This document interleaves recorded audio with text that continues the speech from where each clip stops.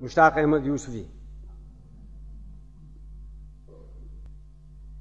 मियाँ तजम्मुल हुसैन ने बताया मेरे वालिद जिनका ताल्लुक चिनियोट से था अल्लाह बख्शे थिएटर और गाने के रसिया थे जब मौज में होते और बैठक में हारमोनियम बजाते तो रास्ता चलते चलते लोग खड़े हो जाते जवानी में हीराबाई के गाने के दिल दादा थे वो दादर कंठिया थी यानी दो सुरों में कयामत ढाती थी सौ मील के दायरे में कहीं उसका गाना होता, वो सारा काम धंधा छोड़कर पहुँच जाते। आपको तो बखूबी इल्म है कि वालिद घर के रईस नहीं थे। इमारती लकड़ी की छोटी सी दुकान थी। इस मंडी में किसी की दुकान तीन दिन तक बंद रहे तो उसका यह मतलब होता था कि किसी करीबी रिश्तेदार का इंतकाल हो गया है। चौथे दिन बंद रहने का मतलब था कि खुद उसका इंतकाल हो गया है। लेकिन वालिद साहब की दुकान सात दिन भी बंद रहे तो लोग फिक्रमंद नहीं होते थे। समझ जाते कि हीराबाई से अपने हुसन समाज की दाद लेने गए हैं। ताहम उनके बंधे हुए गाहक लकड़ी उन्हीं से खरीदते थे। वैसे तो आपको मालूम है कि वालिद, नेक तीनत, पाबंद सोम सलात पाकबाज आदमी थे। उन्होंने कभी कोई नमाज़ और मुजरा कज़ा नहीं किया। जब एक पारसी थिएटरल कंपनी पहले पहल कानपुर आई तो एक महीने में एक ही खेल, रोज़ाना बिला नागा, इस तरह देखा। वो या पहली मरतबा देख रहे हैं। चंद ही रोज में थिएटर वालों से ऐसे घुल मिल गए कि डायलॉग में भी तीन चार जगह हसब मंशा तब्दीली कराई। दो मरतबा हीरो को स्टेज पर पहनने के लिए अपना साफ़ पाजामा दिया। मैनेजर को आगाह किया कि तुमने जिस शख्स को लैला का बाप बनाया है, उसकी उम्र मजनू से भी कम है। मसनू दाढ़ी की आड़ में वो लैला को जिस नज़र से देखता है, उसे पिदराना शफकत हरगिज नहीं कहा जा सकता। हर लिबास उन पर फपता था। चुनाचे शीरी बात तो फरहाद से करती, लेकिन नज़रें हमारे बाबा पर ही जमाए रखती थी। थिएटर से उनका ये शगफ वालिदा को शाख कर देता था।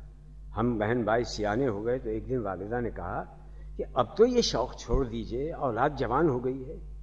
कहने लगे, बेगम, तुम भी कमाल करती हो। जवान वो हो गए और नेक चलने की तलकीन मुझे कर रही है।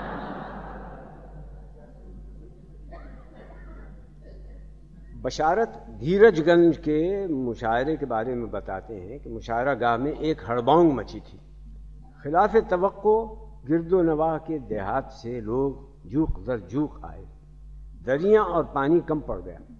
सुनने में आया कि मौली मज्जन के मुखालिफों ने ये उशगुला छोड़ा है कि महफिल के अख्ताम पर लड्डुओं और खजूरों का तबर्रुक और मुर्गियों की मोहलक बीमारी रानी खेत की दवा की पुड़ियाँ तकसीम होंगी। एक देहाती अपनी दस बारह बीमार मुर्गियाँ झाबे में डाल के ले आया था कि सुबह तक उनके बचने की आस नहीं थी। एक काश्तकार अपनी जवान भैंस को नहला धुलाकर बड़ी उम्मीदों से हमरा लाया था कि उसके कट्टे ही कट्टे होते थे, मादा बच्चा नहीं होता था। उसे किसी ने इतला दी कि शायरों के मेले में तवाइफों वाले हकीम एहसानुल्लाह तस्लीम आने वाले हैं। हकीम एहसानुल्लाह तस्लीम का दावा था कि इमारत, तबाबत और शायरी उन्हें विरसे में मिली है। उनके दादा हकीम एहतशाम एहतशाम हुसैन की कन्नौज में इतनी बड़ी ज़िम्मेदारी थी कि एक नक्शे में नहीं आती थी। उसका ज़िक्र बड़े फ़ख्र गुलू से करते अब नक्शे उनके और मुतल ज़मीनें महाजन के कब्ज़े में थीं। हकीम एहसानुल्लाह तस्लीम रंगीन मिजाज रऊसा का भी इलाज करते थे। फ़कत कारूरा देखकर रईस का नाम बता देते। और रईस की नब्ज पे उंगली रखते ही ये निशानदही कर देते कि मरज़ के जरासीम किस कोठे के आबुर्दा पर रहता है। ये समझ में आने वाली बात है कि किसी तवाफ के यहाँ लड़का पैदा हो जाए तो रोना पीटना मच जाता है। हकीम तस्लीम के पास ख़ानदानी बयास का एक ऐसा मुजर्रब नुस्खा था कि शर्तिया लड़की पैदा होती थी। ये सफूफ उस रात के राजा या तमाशबीन खसूसी को चुपके से पान में डाकर खिला दिया जाता था। नुस्खे के तीर बहदफ होने का अंदाज़ा इससे लगाया जा सकता है कि कानपुर में किसी की जाति बीवी के यहाँ भी लड़की पैदा होती तो वो मियाँ के सर हो जाती कि हो ना हो, तुम वहीं से पान खाकर आए थे।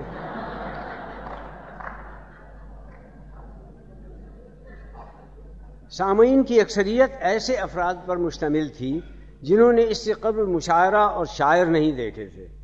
रात के बारह का अमल होगा, चार सू सामीन का तूती बोल रहा था। हुटिंग का यह आलम था कि कान पड़ी गाली सुनाई नहीं देती थी।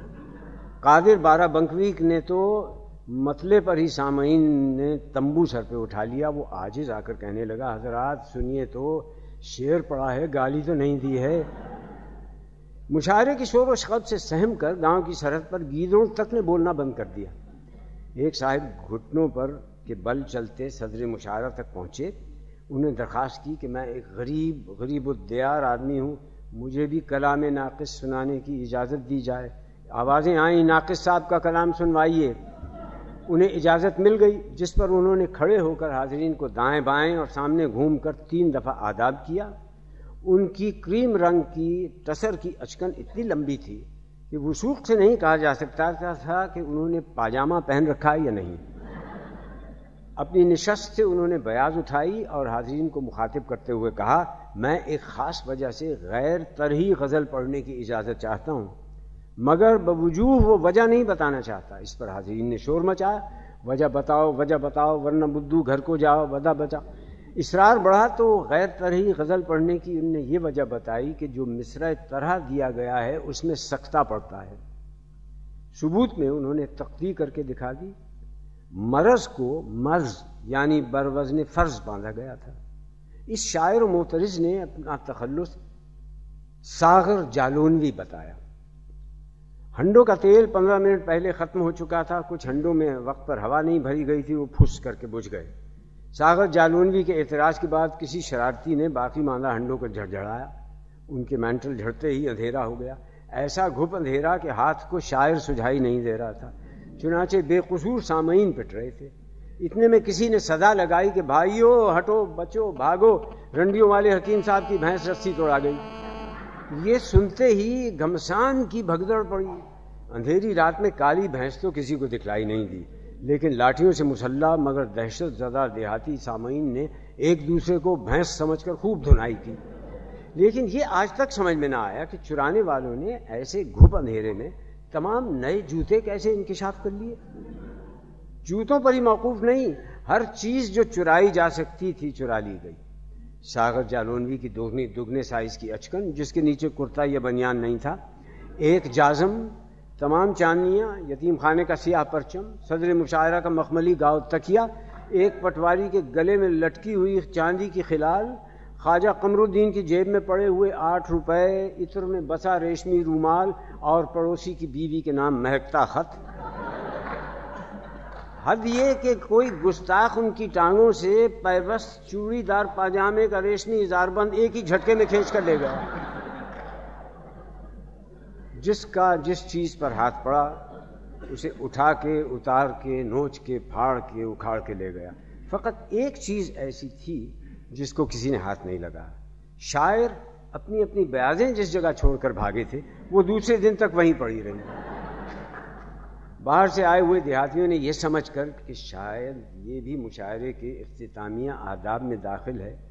मारपीट और लूट खसूट में बढ़ चढ़ कर हिस्सा लिया और बाद में बहुत दिन तक हर आने जाने वाले से बड़े इश्तियाक से पूछते, अब दूसरा मुशाहरा कब होगा?